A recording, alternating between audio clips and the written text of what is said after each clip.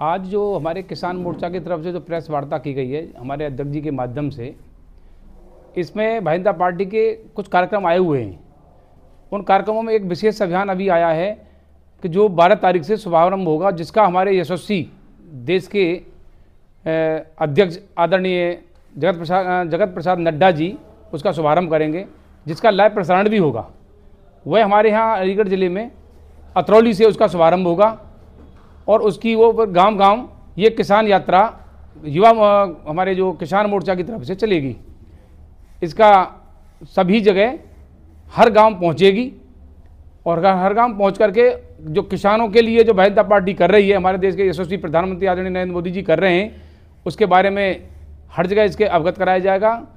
और मैं समझता हूँ, आज एक बहुत बड़ी और उपलब्धि है, हमारी प्रेस वार्ता हो ही रही है कि किसान को और बड़ा सम्मान दिया जा रहा है। आज हमारे देश के पूर्व प्रधानमंत्री आदरणीय चौधरी चरण सिंह जी को भारत रत्न भी दे दिया गया है। और मैं समझता हूँ कि ये भी किसानों के लिए, क्योंकि किसान मसीहा बोले जाते थे चौधरी साहब को तो जनता पार्टी में ही ये सब संभव है। जनता पार्टी के और भी बहुत कार्यक्रम आए हुए हैं। अनंत कार्यक्रमों को जनता पार्टी के कार्यकर्ता, देवतुल कार्यकर्ता हर जगह गाँव गाँव जा रहे हैं और उस कार्यक्रम को जैसे अभी गाँव चलो अभियान चल रहा है, ग्यारह तारीख तक चलेगा। वो चार तारीख से ग्यारह तारीख तक का कार्यक्रम था। उसमें भी हमारे सभी कार्यकर्ता और हमारे पदाधिकारी प्रवास कर रहे हैं रात्रि में 24 घंटे वहीं रह रहे हैं और जनता के बीच में रह करके जो समस्याएँ हैं उन समस्याओं को भी सुन रहे हैं उनका निवारण भी करा रहे हैं।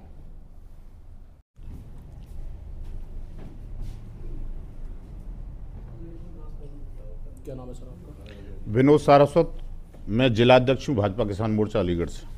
आज यहाँ जो मीटिंग की गई किस मामले में भारतीय जनता पार्टी सभी वर्गों के लिए अलग अलग कार्य करती है।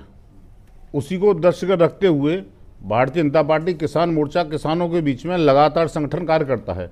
किसानों की जो समस्याएँ रहती हैं, उसे प्रतिनिधियों तक पहुंचाना, सरकार तक पहुंचाना, उनका समाधान करना, ये इसका उद्देश्य रहता है। अभी किसानों ने एक तरफा होकर के पिछले चुनाव में सरकार को वोट दिया और भाजपा के नेतृत्व में, मोदी जी के नेतृत्व में भाजपा की सरकार बनी। सरकार ने भी किसानों के लिए बहुत कुछ किया है। इसी को लेकर के भारतीय जनता पार्टी किसान मोर्चा अभी 12 तारीख से किसानों के बीच में एक ग्राम परिक्रमा यात्रा को लेकर के जाने वाला है। इस परिक्रमा यात्रा का उद्देश्य यही है कि हम किसानों के बीच में जा कर के जो सरकार द्वारा उनके हित में योजनाएँ चलाई जा रही हैं, उनके विकास के जो कार्य किए जा रहे हैं, उनके बारे में लोगों को हम बता सकें।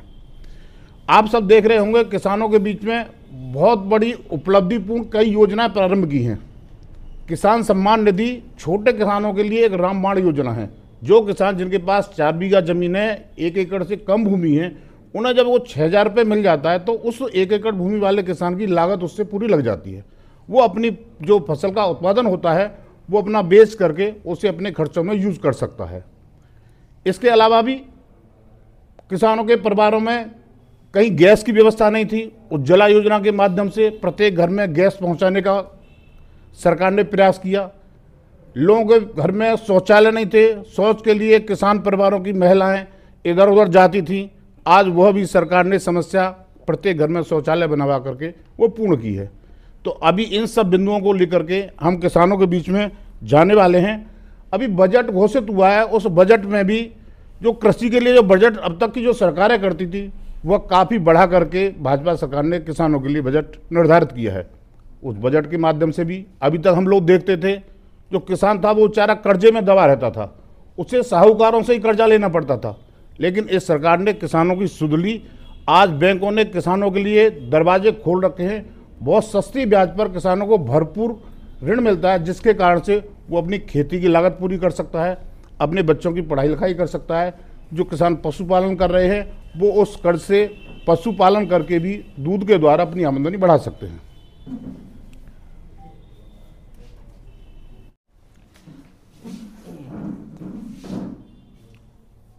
इस यात्रा का जो शुभारंभ होने वाला है, ये शुभारंभ मुजफ्फरनगर से होगा। इस शुभारंभ के अवसर पर हमारे किसान मोर्चा के राष्ट्रीय अध्यक्ष आदरणीय चाहर जी, हमारी पार्टी के राष्ट्रीय अध्यक्ष नड्डा जी उस समय उपस्थित रहेंगे।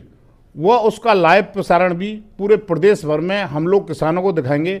उसी दृष्टि से हमने उद्घाटन का जो कार्यक्रम रखा है, वो 12 फरवरी को अतरौली में 12 बजे कार्यक्रम रखा है।